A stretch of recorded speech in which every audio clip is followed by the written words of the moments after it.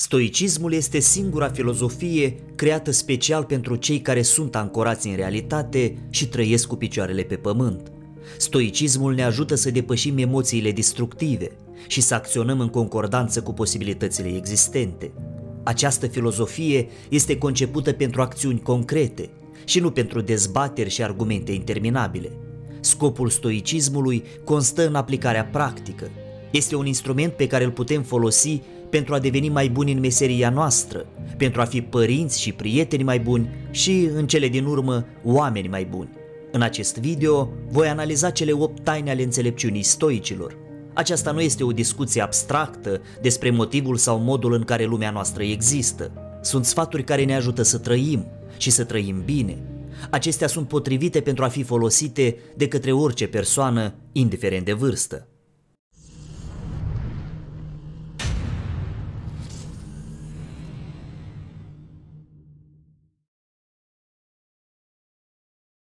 Numărul 1. Controlul. Principiul de bază al stoicismului constă în capacitatea de a distinge lucrurile pe care le putem controla, ce putem influența și ce nu. Conform definiției date de stoici, nu deținem controlul și, prin urmare, nu ne putem baza pe evenimente externe. Nu ne putem controla decât pe noi înșine și reacțiile noastre și, prin urmare, ne putem baza doar pe ele. Așadar, Prima lecție a stoicismului este să ne concentrăm atenția și efortul acolo unde avem control maxim și să lăsăm restul în seama universului. Un zbor este întârziat din cauza vremii și niciun fel de protest sau strigăt la adresa reprezentantului companiei aeriene nu poate opri furtuna.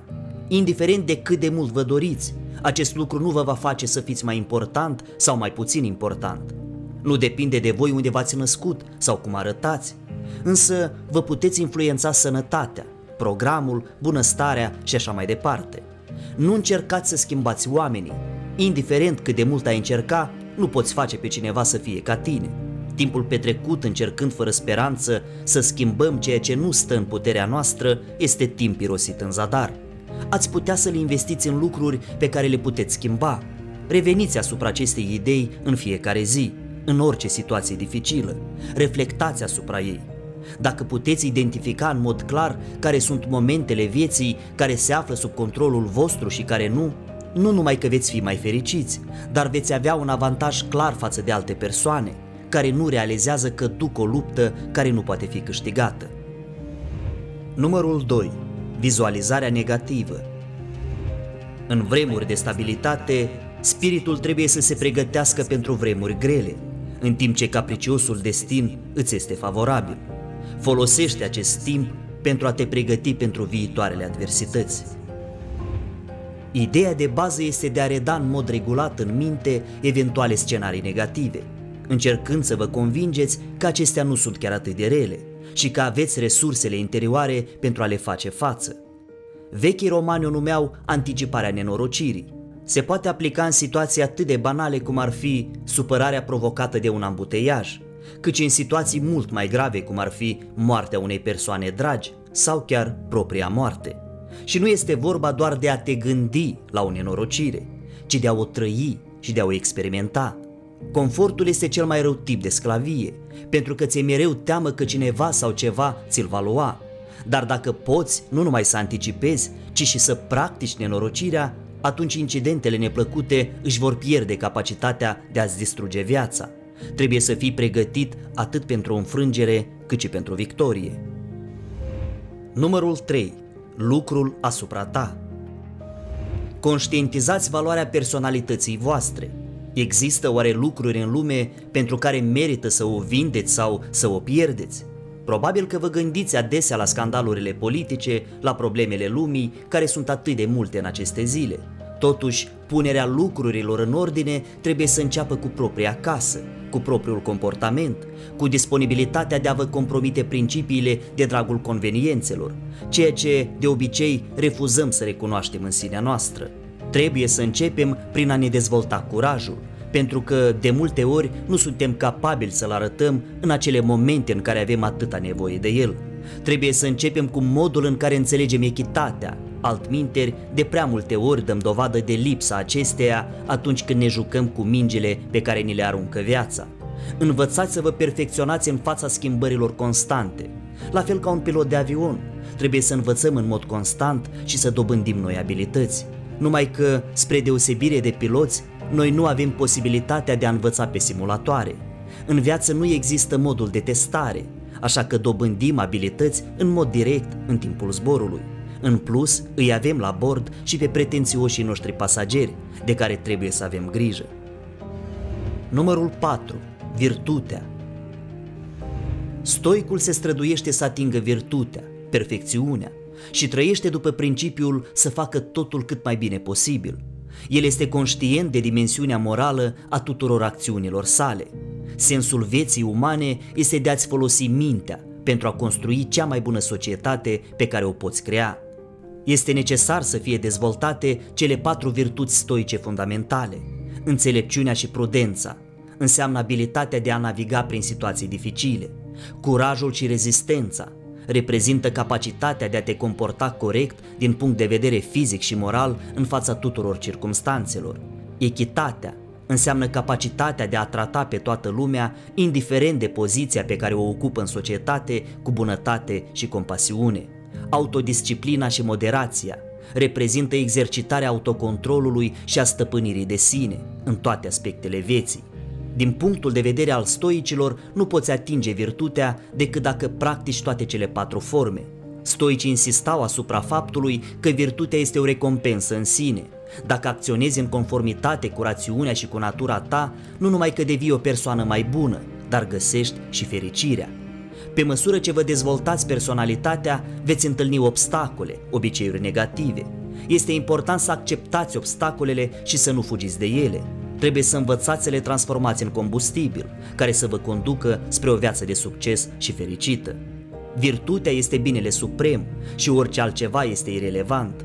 De exemplu, dacă îți dorești un Lamborghini, oricât de puternică ți-ar fi dorința, nu ți-ai dat niciodată la schimb fica pentru acea mașină.